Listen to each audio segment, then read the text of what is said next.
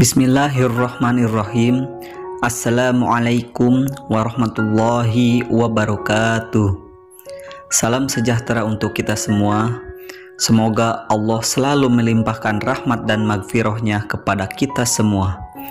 Dan semoga apa yang kita lakukan selama ini menjadi ladang pahala yang mana dengan pahala itu bisa mengantarkan kita menuju surganya Allah Subhanahu wa taala. Amin amin ya rabbal alamin. Sahabatku yang dirahmati oleh Allah Subhanahu wa taala, ada sebuah kisah nyata yang mana kisah ini saya dapati di salah satu grup yang ada di Facebook. Kisahnya menceritakan tentang seorang ibu yang ditelantarkan oleh anaknya di sebuah pati jompo. Saya memposisikan diri saya sebagai orang yang bercerita di dalam postingan itu. Ceritanya kurang lebih seperti ini. Suatu hari, saya pergi ke salah satu panti jompo karena sahabat saya meminta bantuan kepada saya untuk menyalurkan bantuan kepada orang-orang yang membutuhkan. Uang yang sahabat saya berikan itu saya belikan makanan, pakaian, dan juga berbagai perlengkapan yang dibutuhkan. Setelah itu, saya pun pergi ke panti jompo yang saya kenal. Saat mobil saya berhenti di halaman panti jompo itu, tiba-tiba ada seorang ibu tua yang berlari dari asrama panti mendekati saya. Ye ye ye ye, anakku datang, anakku datang. Senangnya anakku datang. Ibu tua itu dengan riang gembiranya menyambut kedatangan saya. Akan tetapi, saya tak mengenali beliau itu siapa. Ibu tua itu dengan gembiranya memeluk dan menciumi saya. Beliau berkata kepada saya, "Nak, kenapa kau tinggalkan ibu di sini, Nak? Ibu mau pulang. Ibu rindu rumah kita." Waktu itu, saya hampir tak bisa berkata apa-apa lagi. Saya hanya bisa menatap wajahnya dan saya pegang tangannya. Beliau bilang lagi begini, Sampai hati kau nak, kau tak mengakui aku ini ibumu. Di situ saya bisa membayangkan bagaimana perasaan beliau yang begitu rindu kepada anaknya. Saya mencoba berpura-pura seolah-olah saya ini adalah anaknya. Saya katakan kepada beliau, "Bu, Maafkan saya ya bu, selama ini saya tidak pernah menjenguk ibu karena saya terlalu sibuk bekerja, makanya saya tak bisa menjenguk ibu. Setelah itu, saya pegang tangannya, saya ajak beliau duduk di atas kursi, saya ambil sepotong roti dan saya suapkan roti itu ke mulutnya. Tak terasa meneteslah air mata di pipinya.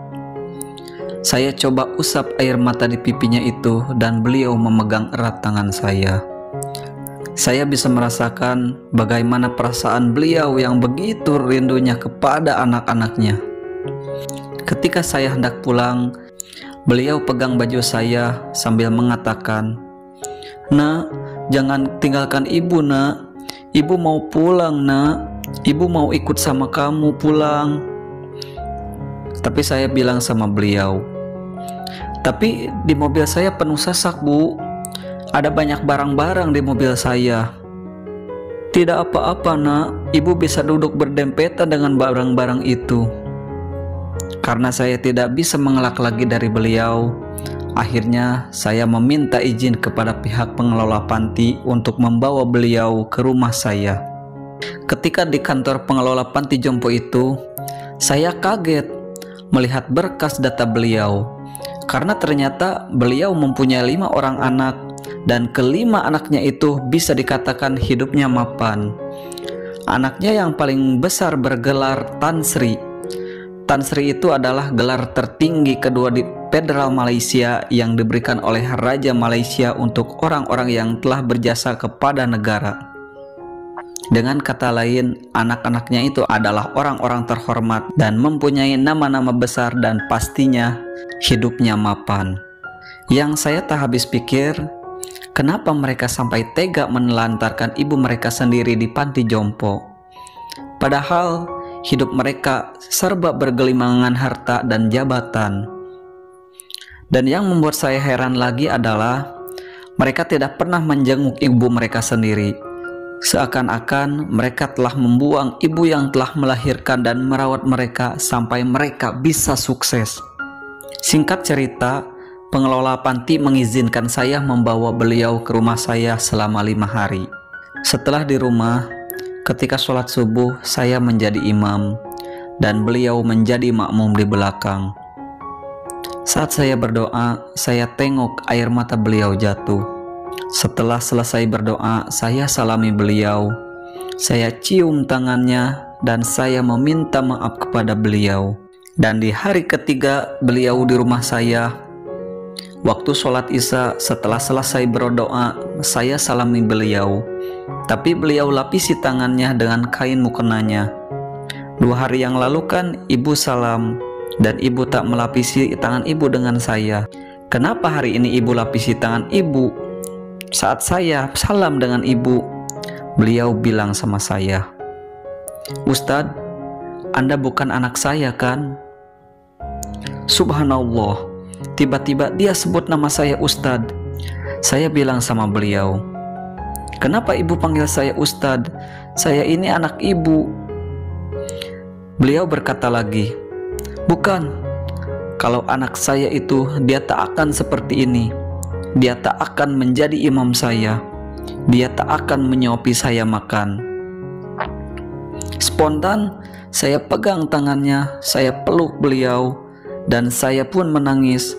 Lalu saya bilang sama beliau, "Bu, walaupun ibu bukan ibu saya, tapi saya sayang sama ibu seperti saya sayang kepada ibu saya sendiri."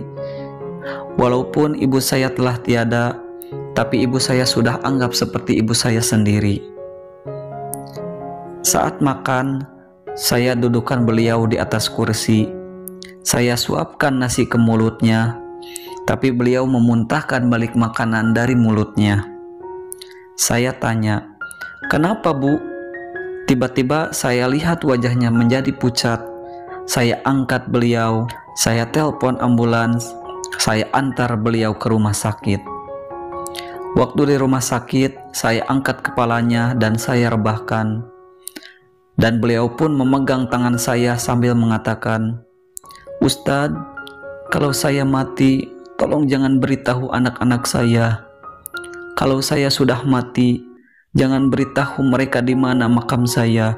Kalau mereka tahu di mana makam saya, jangan izinkan mereka memegang batu nisan saya saya pegang beliau, saya bilang sama beliau, "Bu, jangan ngomong seperti itu, Bu." Istri dan anak saya pun menangis di sebelah saya sambil memegang tangan beliau.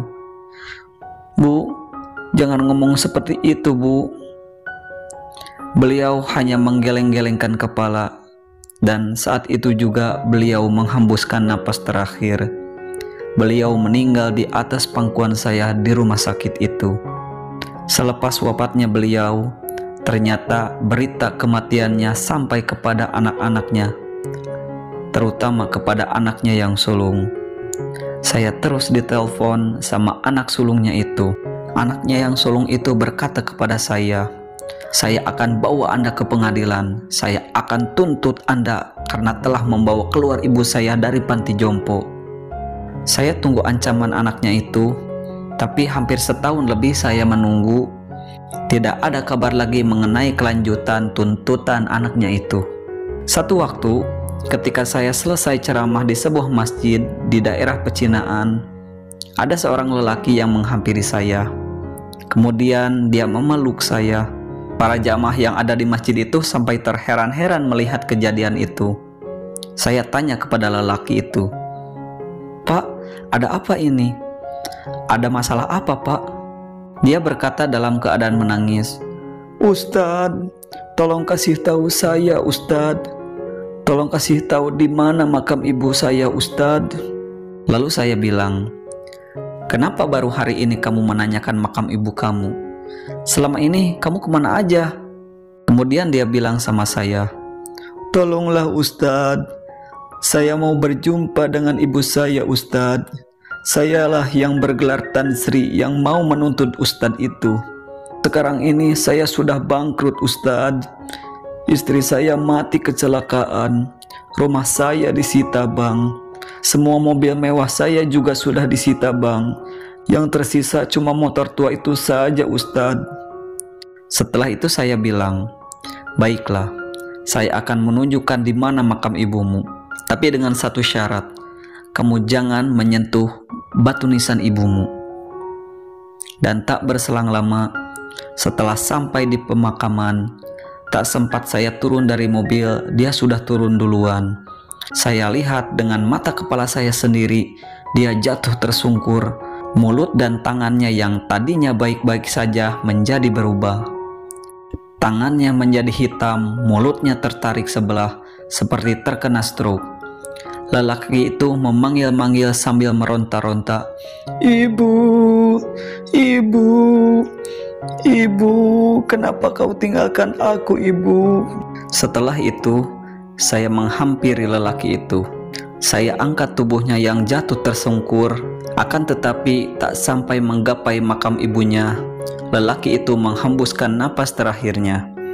Dia meninggal di samping makam ibunya. Itulah salah satu kisah di antara banyaknya cerita tentang betapa ruginya orang-orang yang menyia-nyiakan orang tuanya. Saya sering memperhatikan orang-orang di sekitar saya Orang yang sering menyakiti dan menyusahkan orang tuanya itu suka seret rezekinya. Atau kalau enggak seret rezekinya, hidupnya pasti banyak masalah dan hidupnya cenderung tidak bahagia. Kalaupun bahagia, bahagianya hanya semu. Meskipun orang tuanya tidak membalas dengan mendoakan kejelekan untuk anaknya, tapi Allah pasti membalas perbuatan anaknya itu cepat atau lambat. Sahabatku yang dirahmati oleh Allah Subhanahu wa taala, sejenak cobalah Anda renungkan dan fikirkan baik-baik. Orang tua Anda selalu mendoakan Anda. Apakah Anda selalu mendoakan mereka? Orang tua Anda selalu berkorban dan berusaha membahagiakan Anda. Apakah Anda selalu berkorban dan berusaha membahagiakan mereka? Orang tua Anda membesarkan dan menafkahi Anda tanpa pernah mengeluh, tanpa pernah menyerah, padahal kehidupan mereka terkadang serba kekurangan. Tapi begitu Anda beranjak dewasa, Anda malah mengeluh ketika harus membantu dan menafkahi orang tua Anda. Padahal kehidupan Anda terkadang sering serba kecukupan. Cobalah Anda merenungkan di dalam hati yang paling dalam dan hal-hal yang terkait dengan itu, maka berbuat baiklah kepada kedua orang tua Anda. Bahagiakanlah hati mereka.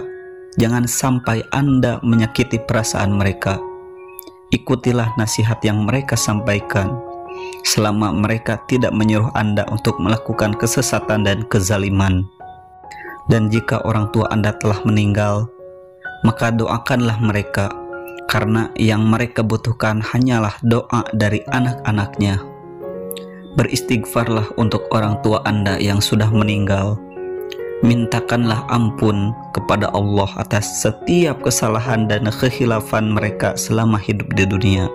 Mudah-mudahan doa-doa yang kita panjatkan untuk orang tua kita dan amal ibadah yang kita lakukan menjadi ladang pahala untuk orang tua kita yang mengalir terus-menerus tanpa terputus. Amin, amin ya Rabbal 'Alamin.